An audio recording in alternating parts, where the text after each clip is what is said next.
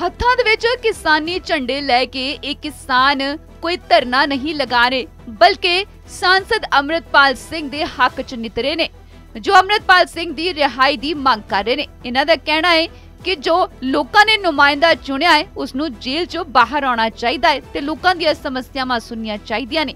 ਇਸੇ ਲਈ ਅਮਰਿਤਪਾਲ ਸਿੰਘ ਦੀ ਰਿਹਾਈ ਦੀ ਮੰਗ ਕੀਤੀ ਜਾ ਰਹੀ ਹੈ, ਜਿਸ ਲਈ ਕਿਸਾਨਾਂ ਦਾ ਇੱਕ ਵੱਡਾ ਕਾਫਲਾ ਲੁਧਿਆਣਾ ਤੋਂ ਅੰਮ੍ਰਿਤਸਰ ਦੇ ਲਈ ਰਵਾਨਾ ਹੋਇਆ ਹੈ। ਤੇ ਡਿਪਟੀ ਕਮਿਸ਼ਨਰ ਨੂੰ ਮੰਗ ਪੱਤਰ ਸੌਂਪ ਕੇ ਇੱਕ ਕਿਸਾਨ ਅਮਰਿਤਪਾਲ ਸਿੰਘ ਦੀ ਰਿਹਾਈ ਦੀ ਮੰਗ ਕਰ ਰਹੇ ਨੇ। ਕਿਸਾਨਾਂ ਦਾ ਕਹਿਣਾ ਹੈ ਕਿ ਅਮਰਿਤਪਾਲ ਸਿੰਘ ਦੇ ਖਿਲਾਫ ਕੋਈ ਵੀ ਅਪਰਾਧਿਕ ਮਾਮਲਾ ਦਰਜ ਨਹੀਂ ਹੈ ਤੇ ਉਹਨਾਂ ਨੂੰ ਬਿਨਾਂ ਕਿਸੇ ਕਾਰਨ ਜੇਲ੍ਹ 'ਚ ਰੱਖਿਆ ਗਿਆ ਹੈ।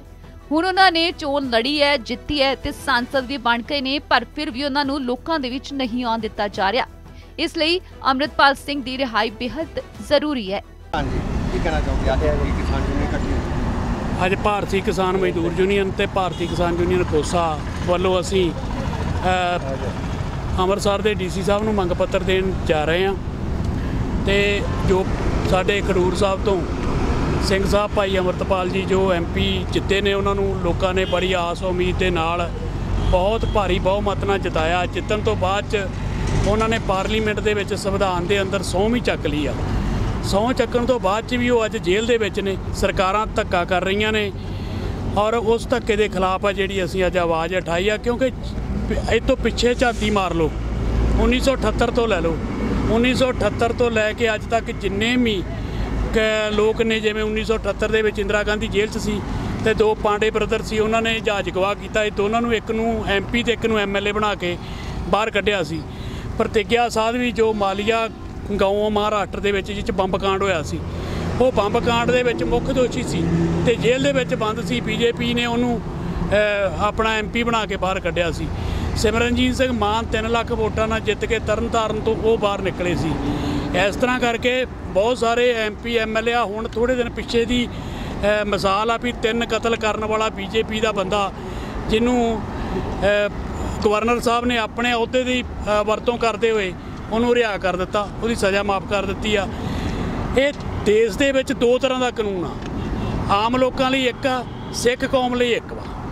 ਸਿੱਖ ਕੌਮ ਨੂੰ ਬਦਨਾਮ ਕਰਨ ਲਈ, ਕਿਰਦਾਰ ਕੁਸ਼ੀ ਕਰਨ ਲਈ ਉਹਦੇ ਉੱਪਰ ਕਦੀ ਚਿੱਟਾ ਪਾਇਆ ਜਾਂਦਾ, ਕਦੀ ਉਹਨਾਂ ਉੱਪਰ ਐਨਐਸਏ ਲਾਈ ਜਾਂਦੀ ਆ। ਇਹ ਸਾਡੇ ਨਾਲ ਧੱਕਾ ਹੋ ਰਿਹਾ। ਅੱਜ ਖਡੂਰ ਸਾਹਿਬ ਹਲਕੇ ਨੂੰ ਇੱਕ ਵਿਕਾਸ ਦੀ ਲੋੜ ਆ। ਜਿਹੜਾ ਫੰਡ ਜਿਹੜਾ ਐਮਪੀ ਨੂੰ ਮਿਲਣਾ ਉਹ ਆਣ ਕੇ ਉਹਨੇ ਹਲਕੇ ਤੇ ਖਰਚਣਾ ਹਰ ਹਲਕੇ ਦੇ ਲੋਕਾਂ ਨੂੰ ਬੜੀਆਂ ਆਸਾਂ ਉਮੀਦਾਂ ਨੇ। ਤੇ ਅਸੀਂ ਅੱਜ ਬੇਨਤੀ ਕਰਨ ਚੱਲੇ ਆ ਡੀਸੀ ਸਾਹਿਬ ਦੇ ਰਾਹੀਂ ਸਰਕਾਰ ਨੂੰ ਵੀ ਉਹਨਾਂ ਨੂੰ ਜਲਦੀ ਤੋਂ ਜਲਦੀ ਜੇਲ੍ਹ ਤੋਂ ਜਿਹੜਾ ਰਿਹਾ ਕੀਤਾ ਜਾਵੇ। ਸਰ ਅਗਲੀ ਰਾਤ ਦੀ ਰਣਨੀਤੀ ਕੀ ਹੋਏਗੀ? ਇਸ ਤੋਂ ਬਾਅਦ ਚ ਅਸੀਂ ਸਾਰੀਆਂ ਜਥੇਬੰਦੀਆਂ ਇਕੱਠੀਆਂ ਹੋ ਕੇ ਫਿਰ ਇੱਕ ਮੁੱਖ ਮੰਤਰੀ ਨੂੰ ਮੰਗ ਪੱਤਰ ਦੇਵਾਂਗੇ ਫਿਰ ਗਵਰਨਰ ਸਾਹਿਬ ਨੂੰ ਮੰਗ ਪੱਤਰ ਦੇਵਾਂਗੇ ਆਖਰਕਾਰ ਇਹਨਾਂ ਨੂੰ ਮਜਬੂਰ ਕਰਾਂਗੇ ਭਈ ਇਹ ਜਿਹੜਾ ਐਮਪੀ ਜਿਹੜਾ ਜਿੱਤ ਗਿਆ ਔਰ ਸੰਵਿਧਾਨ ਦੀ ਸਹੁੰ ਚੱਕੀ ਆ ਇਹਨੂੰ ਰਿਹਾ ਕਰਨ ਲਈ ਮਜਬੂਰ ਕਰਾਂਗੇ ਇਹਨਾਂ ਨੂੰ ਅਸੀਂ। ਵਾਹਿਗੁਰੂ ਜੀ ਕਾ ਖਾਲਸਾ, ਵਾਹਿਗੁਰੂ ਜੀ ਕੀ ਫਤਿਹ। ਅੱਜ ਦਾ ਜਿਹੜਾ ਸਾਡਾ ਪ੍ਰੋਗਰਾਮ ਆ, ਭਾਈ ਸਾਹਿਬ, ਭਾਈ ਅਮਰਤਪਾਲ ਸਿੰਘ ਦੀ ਰਿਹਾਈ ਦੇ ਲਈ ਹੈਗਾ। ਇੱਥੋਂ ਜਿਹੜੀਆਂ ਸੰਗਤਾਂ ਹੁਣ ਇਕੱਠੀਆਂ ਹੋ ਕੇ, ਜਿਹੜੀਆਂ ਭਾਰਤੀ ਕਿਸਾਨ ਮਜ਼ਦੂਰ ਯੂਨੀਅਨ ਪੰਜਾਬ ਦੇ ਜਿਹੜੇ ਵਰਕਰ ਸੂਬਾ ਪ੍ਰਧਾਨ ਔਰ ਰਾਸ਼ਟਰੀ ਪ੍ਰਧਾਨ ਦੀ ਮ- ਮੌਜੂਦਗੀ ਦੇ ਵਿੱਚ, ਇਹਨਾਂ ਦੀ ਅਗਵਾਈ ਦੇ ਵਿੱਚ ਅੰਮ੍ਰਿਤਸਰ ਸਾਹਿਬ ਜਾ ਕੇ ਡੀਸੀ ਸਾਹਿਬ ਤੇ ਐਸ ਐਸਪੀ ਸਾਹਿਬ ਨੂੰ ਮੰਗ ਪੱਤਰ ਦੇਣਾ ਕਿ ਜਲਦ ਤੋਂ ਜਲਦ ਜਿਹੜੀ ਆ ਉਹਨਾਂ ਦੀ ਰਿਹਾਈ ਕੀਤੀ ਜਾਵੇ ਤਾਂ ਕਿ ਉਹ ਆਪਣੇ ਜਿਹੜਾ ਉਹਨਾਂ ਦਾ ਹਲਕਾ ਹੈਗਾ, ਉਹਦੀ ਜਿਹੜੀ ਆ ਉਹ ਨੁਮਾਇੰਦਗੀ ਉਹ ਕਰ ਸਕਣ, ਉਹਨਾਂ ਨੇ ਸਹੁੰ ਚੱਕ ਲਈ ਆ। ਲੇਕਿਨ ਇਹ ਸਰਕਾਰਾਂ ਦਾ ਜਿਹੜਾ ਇਹ ਪੱਖਪਾਤੀ ਜਿਹੜਾ ਵਤੀਰਾ ਵਾ, ਇਹ ਪੂਰਾ ਅਸੀਂ ਸ਼ੁਰੂ ਤੋਂ ਦੇਖਦੇ ਆ ਰਹੇ ਹਾਂ ਕਿ ਸਿੱਖ ਕੌਮ ਦੇ ਨਾਲ ਬਹੁਤ ਜ਼ਿਆਦਾ ਉਹ ਧੱਕਾ ਕਰ ਰਿਹਾ। ਇੱਕ ਇਹੋ ਜਿਹਾ ਐਮਪੀ ਜਿਹਦੇ ਖਿਲਾਫ ਕੋਈ ਪਰਚਾ ਹੀ ਨਹੀਂ ਦਰਜ।